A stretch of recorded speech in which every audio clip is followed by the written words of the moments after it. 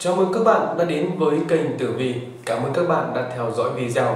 Các bạn nhớ ấn vào nút đăng ký, đồng thời ấn vào biểu tượng hình quả chuông để không bỏ lỡ những video mới nhất, hấp dẫn nhất từ kênh Tử Vi nhé. Hạn toán tận chiếu mạng 12 con giáp trong năm 2023 Quý Mão. Kính thưa quý vị và các bạn, như chúng ta đã biết, cùng song hành với hệ thống cửu diệu niên hạn đó là 8 hạn mà con người chúng ta phải trải qua đối mặt với nó trong cuộc sống thường ngày. Trong suốt cuộc đời, mỗi người chúng ta sẽ trải qua rất nhiều hạn nói chung và rất nhiều lần đại hạn toán tận nói riêng.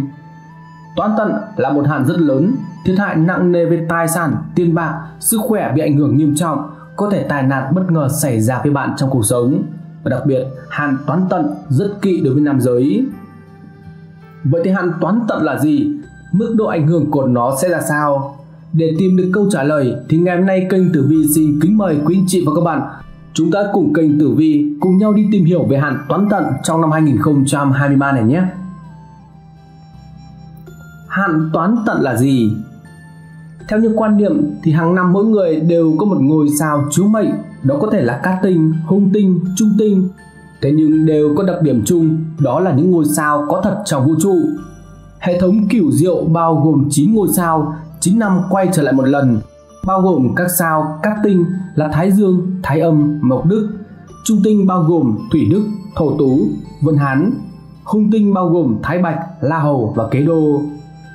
Và tương ứng với 9 ngôi sao chứa mệnh đó là 8 niên hạn trong năm. Đó là hạn huỳnh tuyền hạn tam queo hạn ngũ mộ hạn thiên tinh hạn toán tận hạn thiên la hạn địa võng và hạn diêm vương những ngôi sao chiếu mệnh và hạn này tuân theo học thuyết ngũ hành mà tập tục lâu đời quan niệm rằng mỗi năm sẽ ứng với một vì sao chiếu mệnh mà bản thân trong năm đó có thể gặp được thuận lợi hoặc là chắc chờ nếu gặp được sao tốt, hạn tốt thì năm đó được xuôi trèo mát mái. Nếu gặp được sao xấu, hạn xấu thì chúng ta phải cúng để giải hạn. Mỗi một năm ứng với một niên hạn chiếu mệnh và dựa vào niên hạn này chúng ta có thể biết được năm tới có thể gặp những tai ương xui xẻo như thế nào xảy ra trong năm.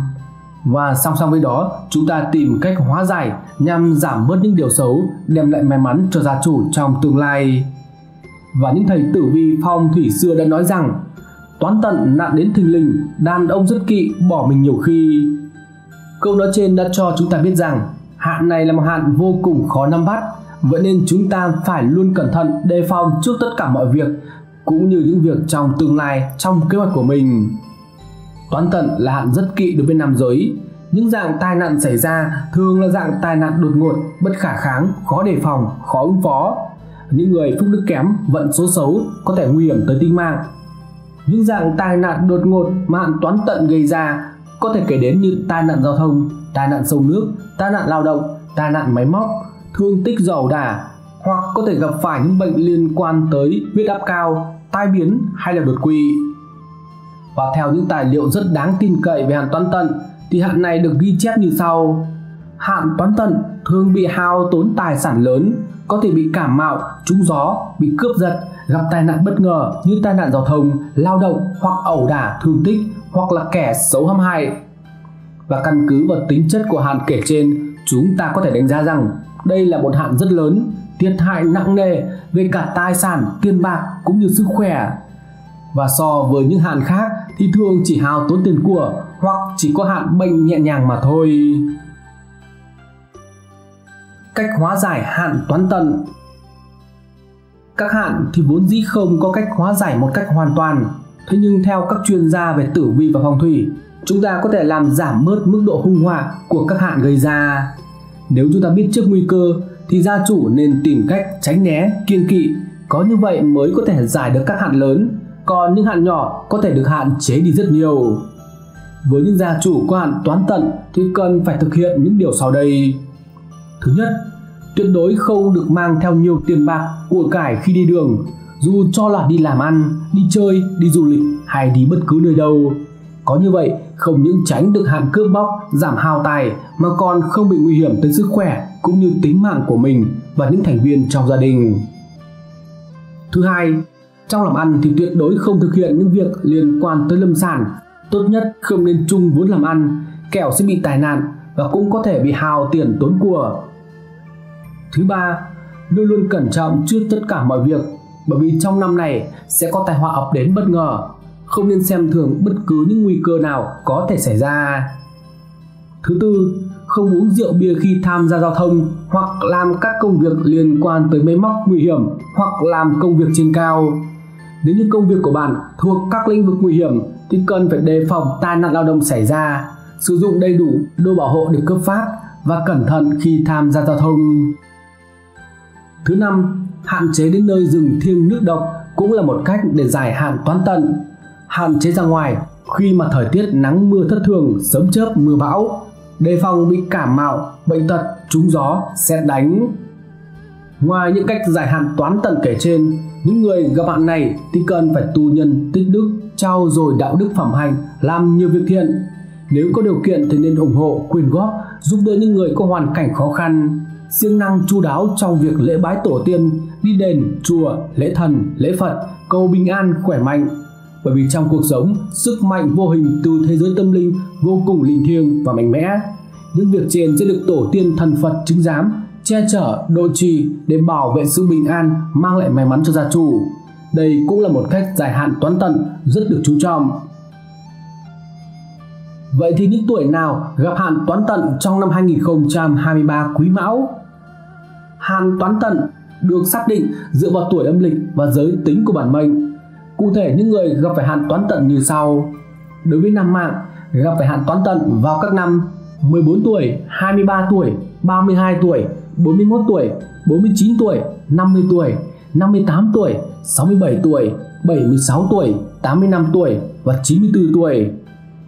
Còn đối với nữ mạng gặp hạn toán tận vào các năm 18 tuổi, 27 tuổi, 36 tuổi, 45 tuổi, 54 tuổi, 63 tuổi, 72 tuổi, 81 tuổi, 89 tuổi, 90 tuổi và 98 tuổi. Như vậy, năm 2023 Quý Mão, những tuổi sau đây sẽ phạm phải hạn toán tận. Đối với nam mạng, bao gồm 7 tuổi. Thứ nhất, tuổi Giáp Dần sinh năm 1974 Thứ hai, tuổi Ất Mão sinh năm 1975. Số 3, tuổi Tân Tỵ sinh năm 2001. Số 4, tuổi Bính Ngọ sinh năm 1966. Số 5, tuổi Nhâm Thân sinh năm 1992. Số 6, tuổi Đinh Dậu sinh năm 1957. Số 7, tuổi Quý Hợi sinh năm 1983.